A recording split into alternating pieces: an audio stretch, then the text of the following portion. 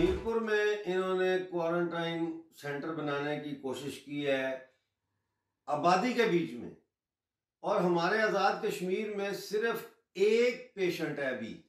اور یہ پنجاب سے پیشنٹس جو ہے ان کو وہاں لے کر آ رہے ہیں۔ یہ خبریں آ رہی ہیں اور لوگوں نے وہاں پروٹیسٹ کیا ہے۔ یعنی ایک طرف ہم کہتے ہیں لوگ گیدر نہ ہوں، لیکن دوسری طرف اب ایسے سٹیپس اٹھا رہی ہے پاکستان کی گورنمنٹ کہ لوگ پروسیشنز نکال رہے ہیں ڈیمونسٹریشن کر رہے ہیں جہاں لوگوں کی کانگریگیشن ہو رہی ہے۔ تو عمران خان جو ہے وہ مسلسل یہ کہہ رہے ہیں کہ ہم نے کوارنٹین نہیں کرنا، اپنا یہ نہیں لاک ڈاؤن نہیں کرنا۔ لاک ڈاؤن نہیں کرنا تو اس کا کیا مطلب؟ اس کا مطلب یہ ہے پاکستان کی سٹیٹ فیل ہو گئی ہے۔ اور اصل جو سٹیٹ ہے پاکستان کے اندر وہ آرمی ہے۔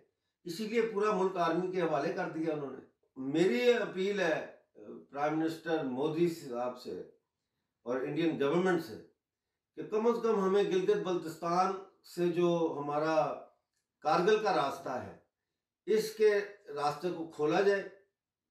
انڈیا کی میڈیکل ٹیمیں بھیجی جائیں گلگت بلتستان۔ اسی طرح جموں سے ہمارا راستہ کھولا جائے اور وہاں سے ہمارے جو میڈیکل ٹیمز ہیں انڈیا سے، ان کو بھیجا جائے۔ ہم آکوپائڈ ٹیریٹری میں رہ رہے ہیں۔ تو ہمیں اس وقت بھارت کی سرکار جو ہے، وہ خصوصی طور پر یونائٹڈ نیشن سے یا پاکستانی گورنمنٹ سے جس طرح بھی ہو سکتا ہے نیگوسیٹ کر کے یہ بارڈر کھول کے ہماری جانیں بچائے۔